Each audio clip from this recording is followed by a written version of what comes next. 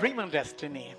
This is our calling, and this is the essence of our life on earth. If somebody would ask me, why do you live? What's the purpose of your life? What's the meaning of your life? I would simply say, God has a dream with my life, and that dream became my dream. And the dream of my life joined with God's dream for my life. So we are working together to fulfill the dream of God for my life and for our lives together. Now, uh, when uh, the father Jacob gave that tunic of many colors as a badge of recognition to Joseph, that stirred not good feelings in his brother's heart. So they started hating him because of that. But and the Bible says that they couldn't even say a friendly word to him because of that. They were hating him very much. In this kind of atmosphere, your question came why did Joseph share the dreams with his family when he knew the atmosphere? He, oh, he knew that him telling the dream that he had that his, his brothers would come and bow down before him. Him telling this kind of dream that would stir negative feelings. It would inflame literally their hatred against him. And still, he came and shared the dream with the family.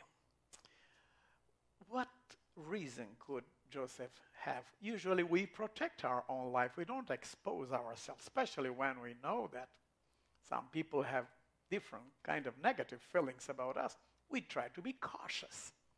Joseph just stepped in the midst of his family and very enthusiastically started saying, I had a dream, brothers. I had a dream. He was not literally paying any kind of attention to the fact that his brethren might misinterpret his dream. No, not at all. He knew where the dream was coming from. He felt that it had a kind of saving tone and that God found a way to save this family, and he shared very enthusiastically with all his brothers. Like Acts chapter 4, verse 20.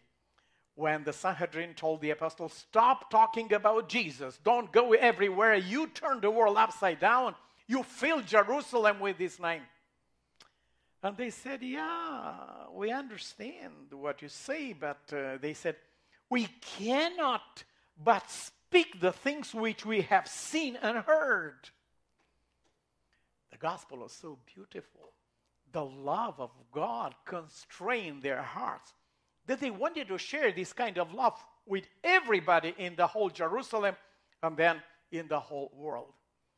This, is, this was behind Joseph telling his dream to his brothers.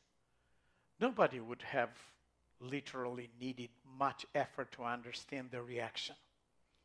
The Bible said that they hated him even more because of that. But how can you not tell? I was in a train and the doctor told me that he hates me for sharing the gospel with the people there. I thank him and I ask him, What if you would find out the cure for cancer, doctor? What would you do? He said, Well, I would publish it at a World Health Organization and everywhere. This is what I'm doing right now. I told him. You cannot, you cannot keep it for yourself when you know that uh, your brother will be so helped and so blessed with the good news. The Psalm 45, verse 1 my heart brings forth good accounts and tell the deeds of the king. It was not about Joseph. Joseph didn't say, Do you know how I dreamed myself? I was in your midst and you were coming down. He never mentioned his name. No, he didn't, because the center of his presentation was God.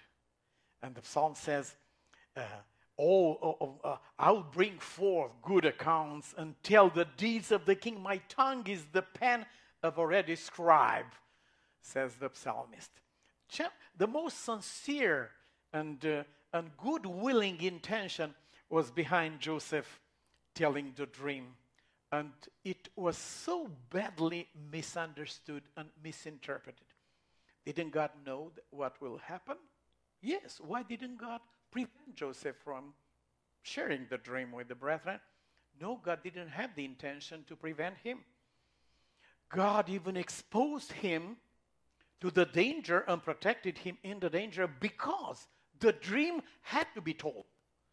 They have to know about the dream because at the time when the dream will be fulfilled, they will say, See, for how long God knew what will happen in these kind of days. Uh, Joseph got a very deep impression during the dream, and sometimes the impression and the feeling of our hearts is the only one, the only thing that stays with us. So he was so impressed. And of course, the hatred of his brothers and their negative reaction and their rejection, and, and they, they wouldn't even speak a, a, a friendly word to him. All this together could not quench his flame of love for God. God was working in his family. And he was ready to suffer anything and everything just to see God's work being fulfilled in his heart, in his uh, home. The brethren must not think the father has a plan to. Uh, the brethren might have thought in their heart, maybe the father, I mean Jacob, has a secret plan, a conspiracy with Joseph to elevate him over us. And they started hating him even more. But don't get discouraged. You might be misinterpreted many times. But as long as you are faithful to the message of God, to the expression of His love for all those around you, an expression that comes through you in their lives, as long as you are faithful to the love of God, don't be afraid. The misinterpretation will be turned into admiration when the dream will be fulfilled. Yes, they needed to know the dream in advance, and they have to keep all these words in their hearts. See, the second time when he shared the dream, even the father reacted negatively.